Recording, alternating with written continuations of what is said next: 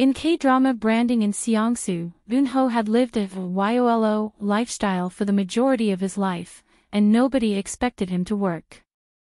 Nevertheless, he proceeds with the exact opposite course of action upon securing an internship at a marketing firm in Seongsu. Eun-ho, the company's oldest trainee, swiftly gains recognition due to his youthful physique and overwhelming attractiveness. However, not all members of the agency admire his somewhat relaxed and unconcerned demeanor. Na Yeon, who currently holds the position of the agency's youngest marketing group leader, has made significant personal sacrifices to reach this stage in her career. Having begun her career as a hiring manager, Na Yeon has ascended the corporate ladder through perseverance and diligence, her efforts have been rewarded.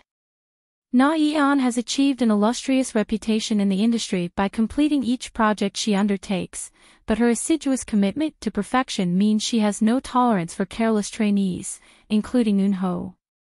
Amidst their profound animosity and myriad disparities, Eun-ho and Na Yeon's lives become inexplicably intertwined when an unanticipated kiss results in the transfer of their souls into the other's body.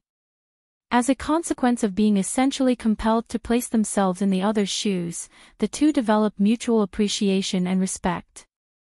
If you've been following this one, you may be curious to know when the next episodes will be released. Well, wonder no more. The Korean drama is made accessible to viewers on Viki Worldwide. Expect subtitles from release in a variety of different languages too. Branding in Seongsu episode 14 will release on Tuesday, February 27 at 12 p.m. KST and 9 p.m. CST. Branding in Seongsu should drop with subtitles available too. Episode 14 is likely to clock in at 30 minutes long, which is consistent with the time frame for the rest of the series.